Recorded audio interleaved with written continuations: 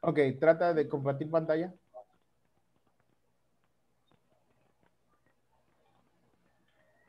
Yes. There you go. Begin.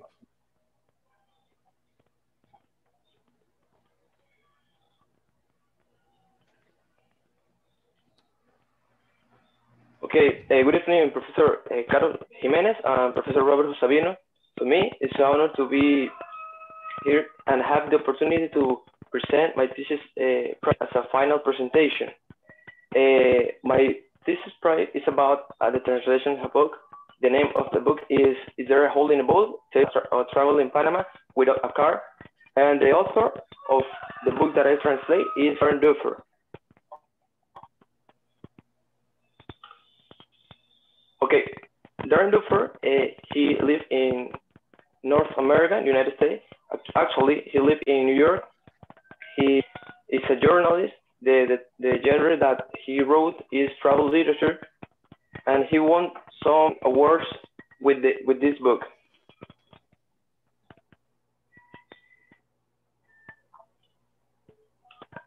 Let's start with the summary of, the, of each chapter about my book. Okay, the chapter number one, the monarchy of the Americas. Uh, in the book, in, the, in this chapter, Darrin Duffer make emphasis in a lot of the fauna flora that Panama have. Uh, focus on the some tribes, some indigenous tribes like Cuna, Embera, and the little uh, town from the indigenous town chapter number two. In this chapter, the Duffer has to move to the with his girlfriend around the, the Panama.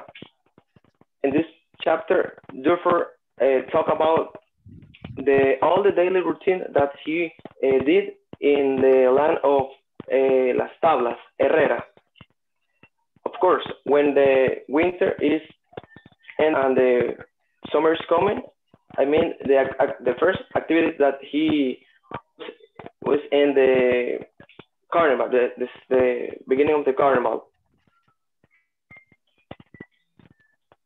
Chapter number three, voting for garbage is prohibited. In his uh, needed to learn about the history of Panama, focus on the Panama Canal. He was searching information on Panama Canal, all the, the artificial, artificial lakes that compose the, the Panama Canal. And the information, one, the, the information that Duffer make emphasis was uh, the high amount of people that die in the beginning of the construction, the, the construction of the Panama Canal. Chapter number four. Let me move this. Sweden life once upon a time, one upon at a time. When Darrin Duffer continued traveling around the, the country, he went to the uh, Veraguas, uh, Los Santos, Herrera, and he heard that in Los Santos was was the the best. The people made the best flan and the best bread in all the, the, the country. So he visited to this land and this flan and the, the bread. And obviously, the one, the, the most important uh, element of this, uh, I mean, Darrin Duffer thought that was the, the rum, the Panamanian rum.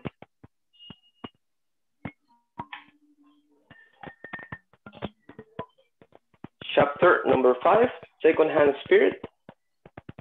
In this chapter, uh, Duffer talk about how it feels uh, when, when you are traveling in a public transport, but in, especially in the Diablos Rojos. He, he was uh, riding a Red Devil, but of course, Diablos Rojos is a Panamanian. Uh, he was talking about the, the Diablos Rojos are not the, mo the most uh, comfortable way to, to go to one place to other. And he one of the things that catch his attention was the pavos. Uh, the, the pavos are the, the people to in charge to, to take the money of uh, each passenger. And there are like tools because they are uh, taking the, the, money of the each of each passengers and also are talking with the with the gears and you know the rest. Chapter number six, into the bourgeois buffet. In this chapter, uh, Dufour uh, was traveling in some island, island of Bocas del Toro, and later he was in a boat with some other uh, indigenous people, and he was scared because uh, he was uh, looking at the helmet of the of the boat, and he was thinking, "Oh, they're holding a boat." Of course, the other people doesn't feel any any kind of, of fear because they are those situations are not ready for them. And also, he made a special kind of person. The special kind of person was a hermit, but not a normal hermit. Was a hermit chef, and his name was Polo. Polo he helped out uh, Sir Dufour with the food and uh, some uh, take him to some beach of the island. Chapter number seven, those from the Mother Earth. In this chapter, uh, Darrin talking about the high of variety of the people that live in some uh, some cunas uh, population, not only indigenous people, because he was focused on the people from the black community. Chapter number eight, this is a dictator. The Dufour wants to know about the political rules or the political relationship of Panama, and he found uh, the history of Noriega, was a president from, from Panama, that was indicted by a lot of charges like uh, trafficking money, rape, electoral fraud, drug trafficking, and those kind of things. This uh, chapter number eight talk a, lot of, of the history of Panama with the strong.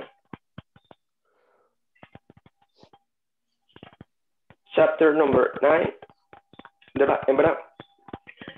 when Dufour uh, goes to some uh, place that in Panama live, when he arrives to Parará Puro, he wants to hunt some birds, but he can do it because the, in, uh, there are rules in this town. In, in this town, you cannot hunt, but the only thing that you can do it here there is fishing. And of course, he he was telling about he he fishing uh, some big fish. He was traveling with the people that live here, and he met new people. Chapter number nine, Invasions. Okay, in this chapter, Darrin Dufour arrived to the core of the Panama, of Panama. I mean, the capital of Panama. Uh, Darrin Dufour arrived to the central part of Panama. I mean, the peatonal. He was telling that he proved uh, Raspado.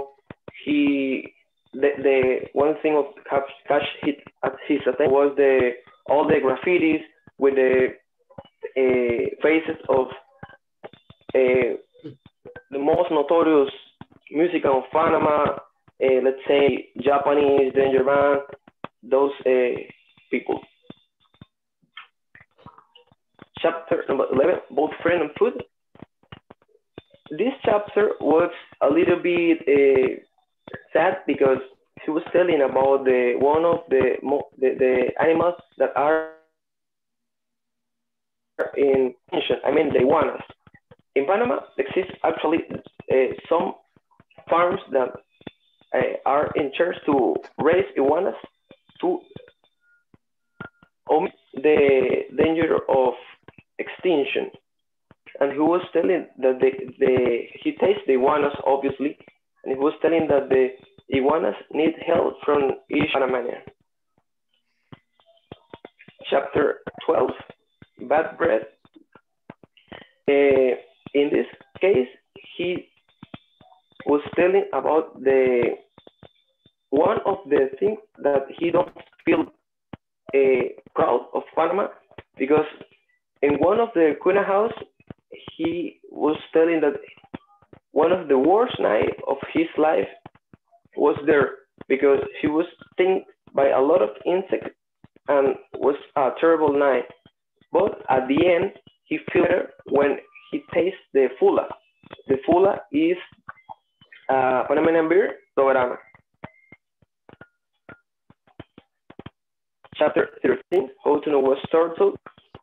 Uh, in this case, it's not that easy because he was he went to Tonosí. After uh, go there, he had to take a taxi to the port and later a boat to the Isla Gemela. And there he was to he had to wait uh, around five or six nights until watch at one egg of a turtle. Chapter 14, Ipeti. Uh, first of all, what is Ipeti? Ipeti is a, a colloquialism from that makes reference to the difference of the culture, the Kuna culture and the Embera culture as a rivalry. In this uh, chapter, Darrin Dufour was telling that the one of the most uh, happy moment that the he he lived there was when he tasted the ceviche, the cuna ceviche, and of course, I think uh, Dufour loved the beers. I don't know when he drinks a beer at 50 cents. Chapter uh, 16, The Little Goat. Durendorfer was traveling around Chiriquí, Boca del Toro, uh, the other countries, but he never go to the Darien. In this case, he went, case, he went to Darien and a little at the downtown, let's see, in this in this form, he went to a downtown. Its name of this downtown was Yavisa. He met a lot of Yavisianos and spent time with his families, with his uh, traditional customs, and those kind of things. Chapter 16, Los Santos, where the bulls catch the body.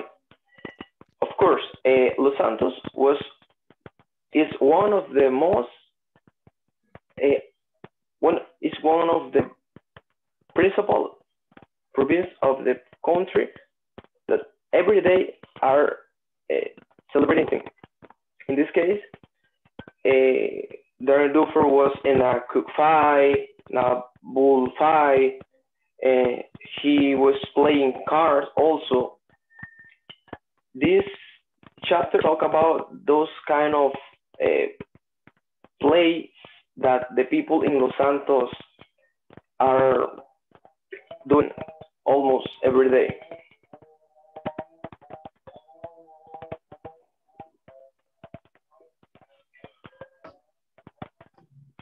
Next step, let's start with the translation techniques.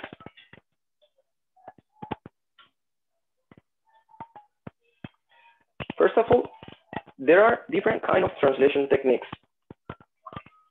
Translation techniques may vary according to what we were translating and exist three types of translation techniques. Uh, direct translation techniques, oblique or indirect techniques, and others. Direct techniques. Uh, they are used when we are translating something from the source text to the target text. The first example that I have here is literal translation. We have uh, two examples here. The peasant began to run from seeds in the En Spanish, los campesinos comenzaron a regresar de plantar semillas en los campos. I translate each by each word of this sentence using these techniques. And the second example, the source text, the abundance of the habitants like sloth and toucan serves as a telltale sign. En Spanish, la abundancia de los árboles, árboles habitantes como perezosos y tucanes sirve como una reveladora señal. And again, I translate each word by word.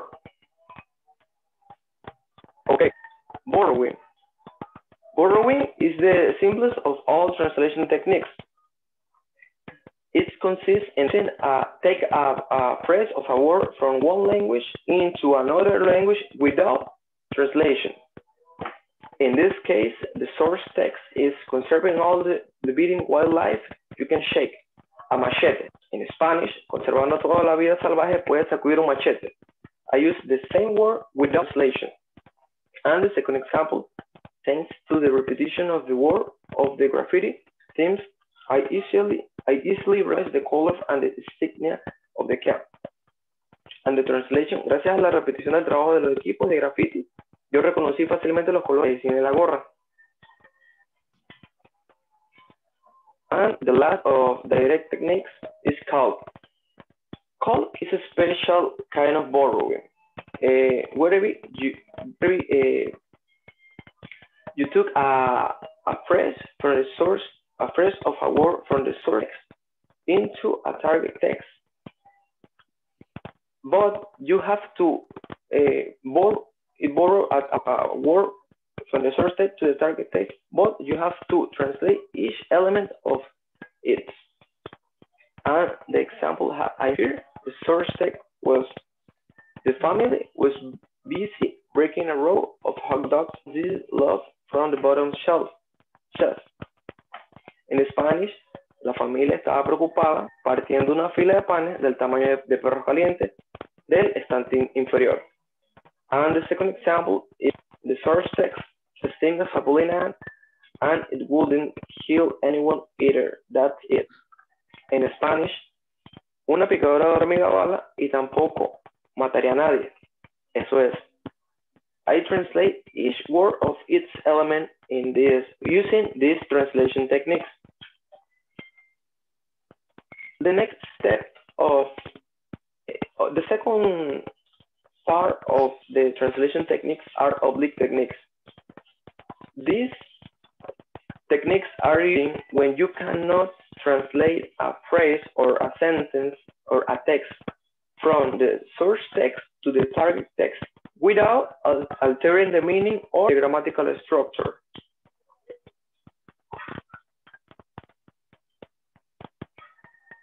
Okay, the first one was is adaptation.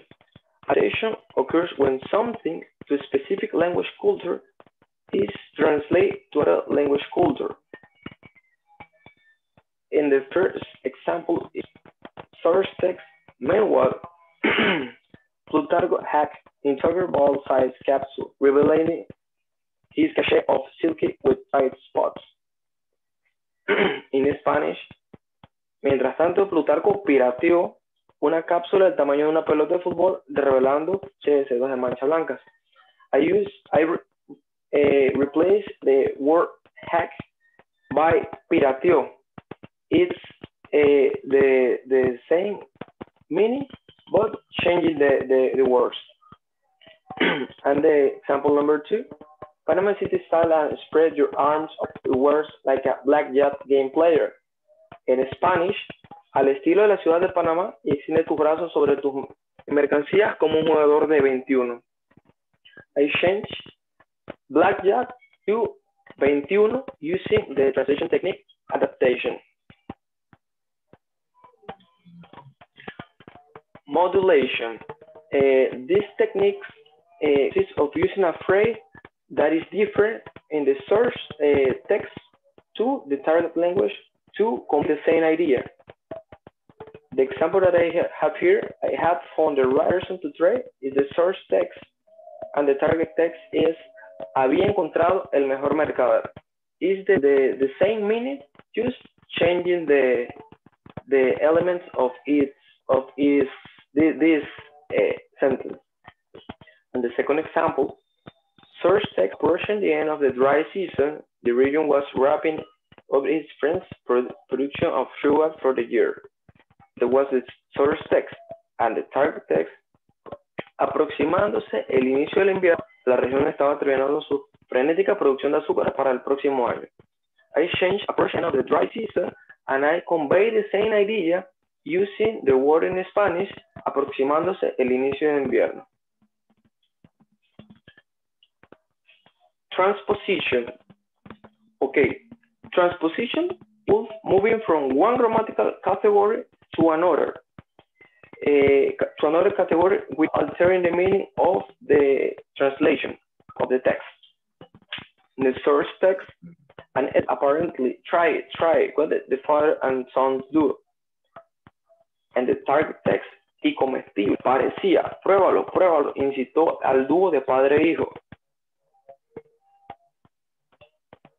I changed the word apparently that as a verb for parecía is a verb. And the second example in the source source text, he knew proudly his Lauder broke a cake when I told him that I have been to sleep. In the direct text, asintió con confianza. Su risa estalló en una carcajada cuando le dije que estaba a punto de dormir. Probably is a adverb, and I changed the adverb into a noun. In Spanish, confianza.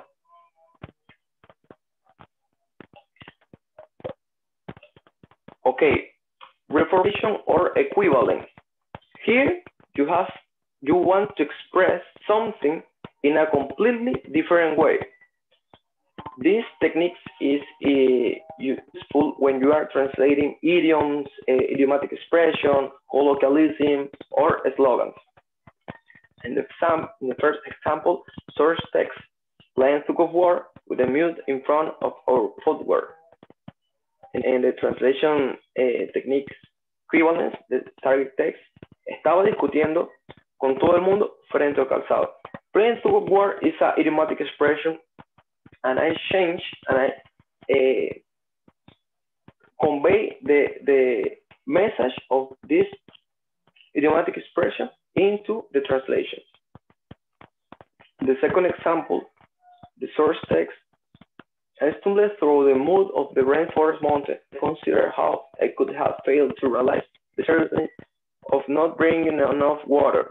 My hair pounded at the side at the side B intently.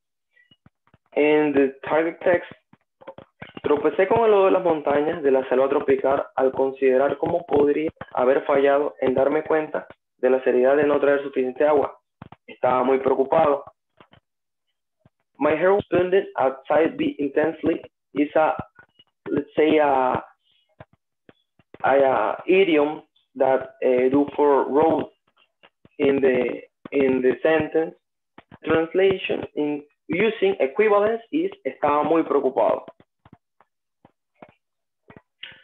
Compensation uh, compensation is used when you cannot translate something the target uh, text from the target text to the source, uh, to, sorry, translation is used when you cannot translate something to the source text to the target text. In this case, uh, when we are, in my example of the source text, sometimes when wandering through the woods, it's inevitable to come face to face with a bushmaster Bushmaster is a name of a snake, or not a name of one of the most uh, dangerous snakes in Latin America. En el target text, algunas veces cuando ambula por el bosque es inevitable encontrarse con una first land o BYA, eh, que es otro nombre que también se conoce en Latinoamérica. The second example, the source text, seeking to the bush buffet. The target text hacia el gran banquete festín. The, this technique it's clarified that when we are translating something, uh, a word from another language that doesn't have the right translation into the target language, you have to use sometimes parentheses to uh, define the word that is on and the translation, the other translation techniques, omission. Omission refer when the editor of the text considers that some information in the sentence or the source text is not relevant.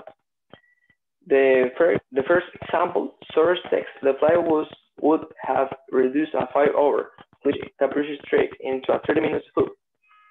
The target La avioneta habría reducido una caminata de 5 horas en un vuelo de 30 minutos. I consider to omit the, the phrase that is eh, in underlined because this information is not much, that doesn't have the, the enough relevance to the readers. And of course, the second example, the source text, I looked up from the breakfast of creamed plantains when a free ground speaker uncovered another surprise from my inspection and called it up maybe Spanish version of my name. The source uh, text was this, was this, and the target text. Levantista cuando unos cuidadores descubrieron otra sorpresa para mi inspección y me llamaron usando la versión español de mi nombre. I omit the, the information from the breakfast of creamed plantains. Explicitation.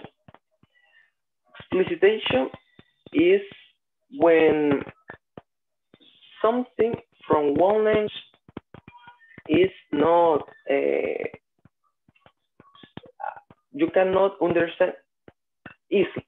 I mean, it's a, met a method to clarify the in the target what is about the source text. For example, source text Nestle in a part in the Panama Canal Basin and confined Enclavado en un parque en la cuenca del Canal de Panamá, científicos de Ancon. We, I have to clarify what is Ancon and the what is about. And the second example, source text. As I approach to ground zero of the island, like to down south winds, turn currents in the Dairy Plaza. The target. Cuando me acerqué a la zona cero de la vida nocturna de la isla, los ritmos de danza se agitaron en plaza. And in this case, I have to explain and clarify what is dancehall. And finally, addition. Addition is when the editor of the text considers, uh, consider uh, that adding information is relevant to uh, get the more get the uh, the reader's attention and get the the text more uh, more more rich to read. The two examples I have here, the source text, briefly turned as Dark Knight fighting only with the power of the Tsukyas. Target text, Bribri se vuelve oscuro como la noche luchando solo con el poder de los Tsukyas. Eh, and I explain what is Tsukyas. Los suyos son los chamanes o médicos de la tribu. The second uh, example is first text, only the raspado, the flower ice bike. And the target text, the translation is solo el raspado. And I explain what is raspado, que es una golosina panameña. La bicicleta de hielo, favor.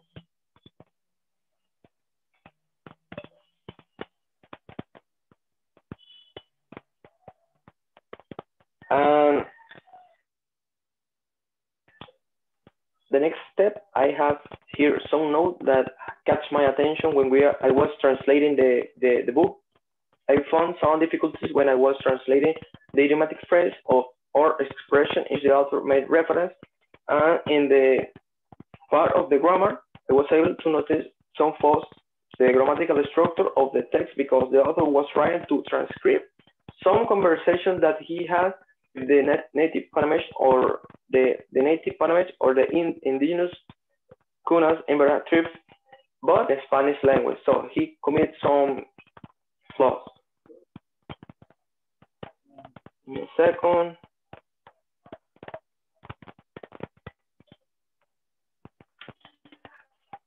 and I have here some the the I use some map tools and was like word reference, Linguee, Grammarly, Translate as a, uh, Google as a translator, book ideas, and the Darrin DuFord uh, website is Omnivorous Traveler.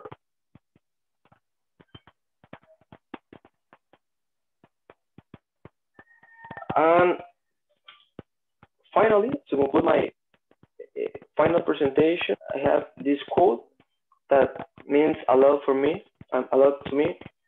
Be thankful for the struggle you go through. They make you stronger, wiser, and humble. Do not let them break you. Let them make. Um, thanks, Professor Carol Jimenez and Professor Roberto Tavino for this time. And if you have any question, feel free to, to ask.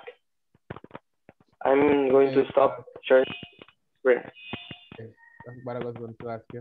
Uh, well, I have no further question given that I help you all along the, the course of your uh, thesis project, but maybe Professor Jimenez will have questions. I don't know, Yeah. maybe. I got it. First, me. Teacher Robert, Uh, say it again? first me the- with the questions. Yes, yes. Okay. Okay, Felipe, I love your job because I love your book because talk about my beauty Panama. I love my, my Panama.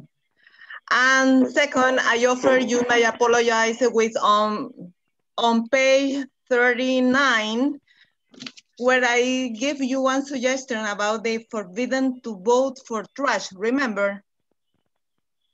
I suggest you to Yes, use yes, V, a little V. yes, Professor. I, I, I, yes, I know, I know. You can't, you don't have to, to conclude your uh, ask because to your question because I know what you're talking about.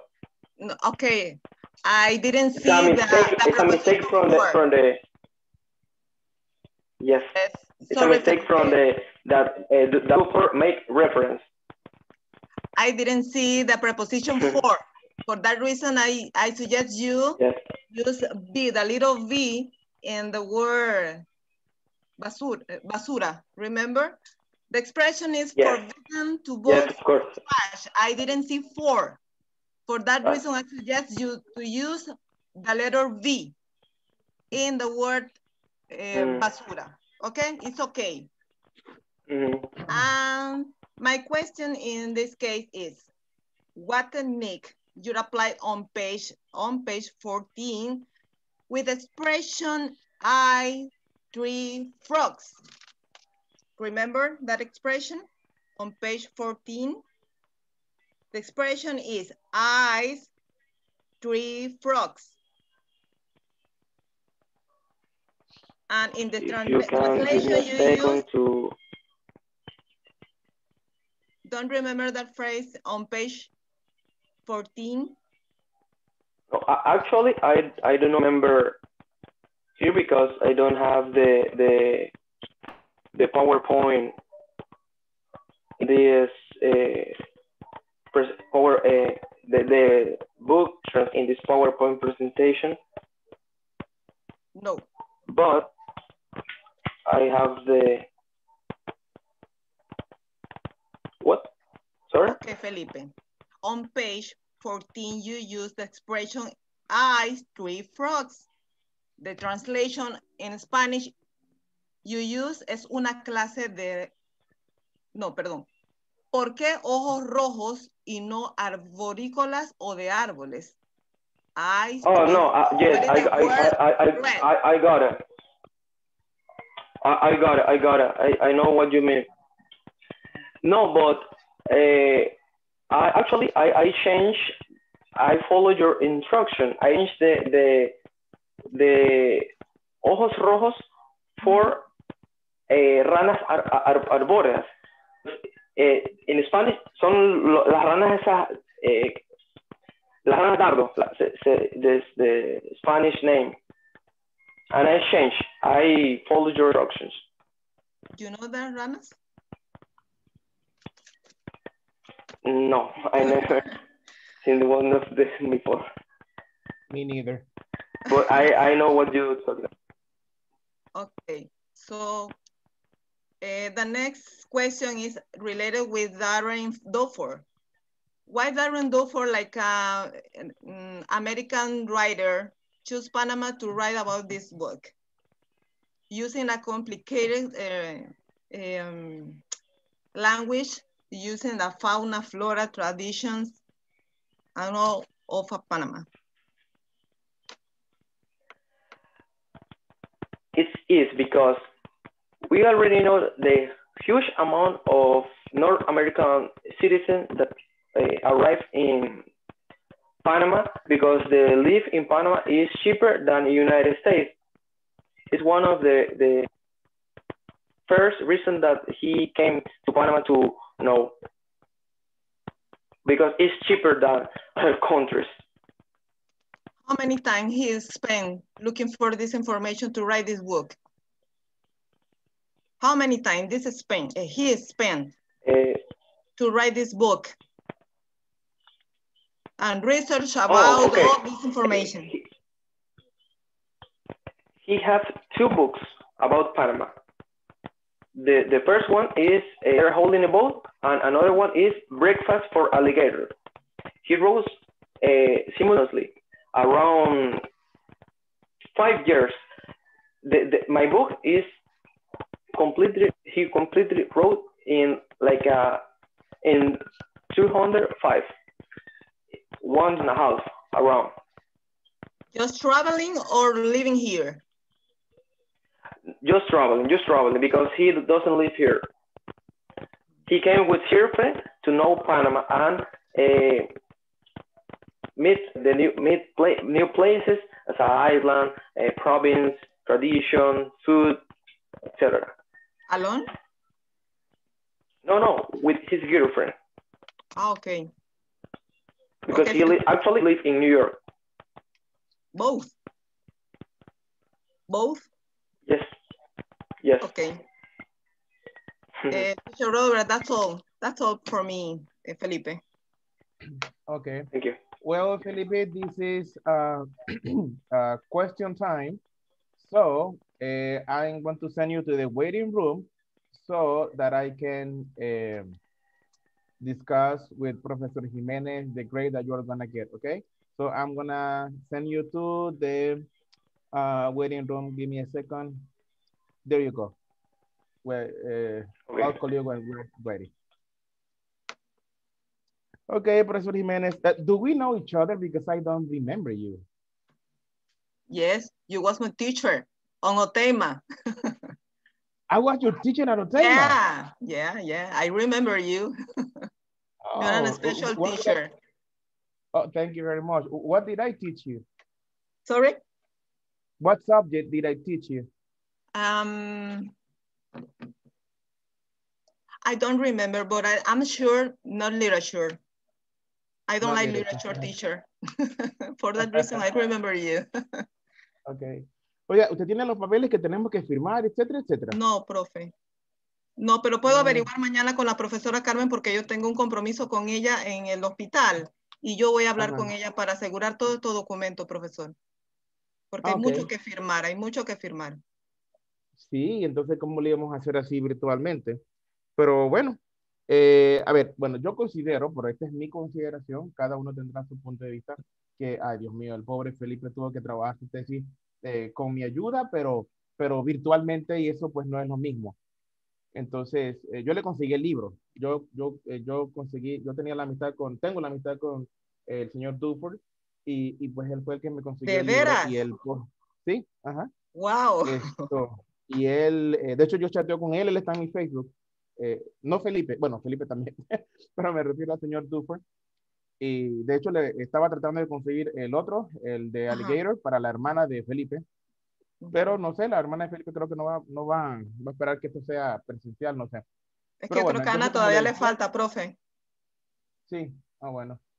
Entonces, esto como, como eh, el pobre tuvo que trabajar eh, con mi ayuda porque pues no era lo mismo dado que estaba por la pandemia él ha hecho un esfuerzo brutal. Ayer estuvimos hasta la madrugada trabajando en las diapositivas porque le dije que yo quería las diapositivas con hipervínculos, cosa que pareciera como una página web y no una diapositiva que fuera como una diapositiva tras la otra, que eso pues no, no es muy atrayente. Correcto. Entonces, eh, por esas razones, por cómo él se, se eh, manejó durante la presentación de la tesis, yo en lo personal diría que, eh, porque yo recuerdo cada punto esto que uno tiene que estar firmando y poniéndole ganchitos, etcétera, yo considero que él de verdad que hizo un trabajo espectacular. Por ende, yo le daría, por mi parte, un 100. Yo no sé si, Cuente con eso. Él es un excelente estudiante y siempre estuvo muy anuente a, a sus cosas. No, tranquilo. Conmigo no hay inconveniente. Ahorita el inconveniente es ese documento que de verdad yo tuve, mi formulario lo tuve que crear porque no hubo manera de que me respondieran. Si no, Felipe no hubiera oh. podido hacer correcciones. Pero bueno, aquí oh. la idea es, colaborarle a los estudiantes que tienen el interés de sacar su título y, y máxima en esta situación en la que estamos todos. Así que permítame hablar con la profesora Carmen. Ajá. Para, para, para conseguir ese, ese formulario que tenemos que llenar usted y yo, donde casualmente pues agregamos el, el, el, puntuaje, el puntaje de Felipe y ellos nos dirán, pues yo lo puedo escanear y lo mandamos virtual. Ok, ok. Lo, bueno, yo lo, ya digo, yo lo, yo lo, me lo manden, yo lo firmo, lo escaneo, lo firmo, no, digo, lo escaneo, lo firmo y lo reenvío. Así claro. que por eso no hay problema. Entonces, bueno, entonces yo esperaría pues que usted hable con la profesora Carmen para ver qué le dice. Profe, deme su número, por favor. Aunque usted ah, está en el grupo, pero no sé con qué nombre esté. Ok. 68. Ajá. 99 02 73. Enseguida lo agrego, profesor, y mañana apenas hablo con la profesora Carmen, le digo pues que me, que me contesta ella y si no buscamos usted y yo la manera de, de, de, no sé, de buscar la manera de que nos acepten un formulario creado, no sé, para que Felipe pueda hacer su, su entrega. Ok. Cuenta conmigo. ok, muchas gracias, eh, eh, colega. Y le vamos a dar a, traer a... Sí. Sí, vamos a traerlo y decirle, pues, se lo dice usted, que fue la lectora, eh, lo que consideramos que él sacó, pues. Bien, ya lo voy a traer nuevamente acá a la sala. Ok, pues. Ahí viene.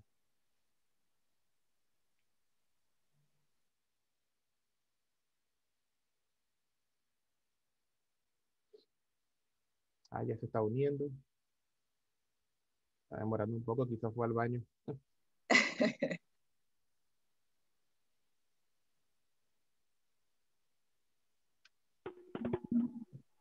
Felipe, ¿cómo estás? Felipe, eh, la profesora. Eh, yes, Jiménez, I can hear you. La profesora, uh, Professor Jimenez is going to give you some news uh, based on our decision as judges. Uh, sir, sir, can you repeat again, please? Sure.